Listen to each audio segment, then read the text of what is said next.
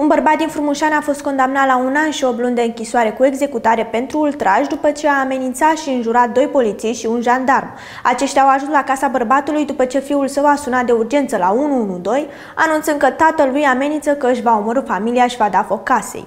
Mai multe detalii are colegul meu, Alexandru Tudor. Bun găsit! Este vorba despre un bărbat de 47 de ani care a pornit întreg scandalul pe 10 septembrie 2022 deoarece bănuia că soția i-a fost infidelă. În momentul în care polițiștii și jandarmul au ajuns la casa bărbatului, familia acestuia se afla în stradă, speriată de amenințările cu moartea.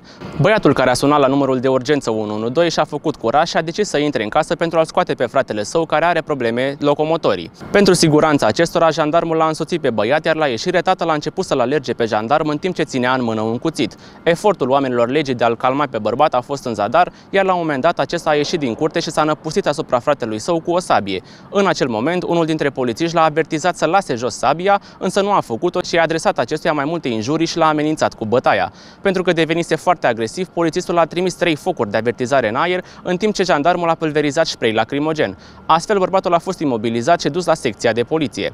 În cadrul audierilor, bărbatul de 47 de ani nu a recunoscut că i-a amenințat pe cei trei oameni ai legii, susținând că amenințările au fost adresate adresate doar fiului său.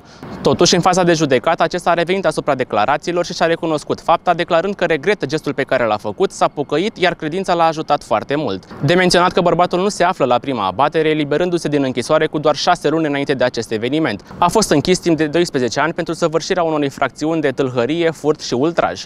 Totuși, decizia din acest caz, pronunțată de judecătoria Oltenița, nu este definitivă, iar bărbatul a făcut deja apel. Acestea au fost informațiile, la revedere!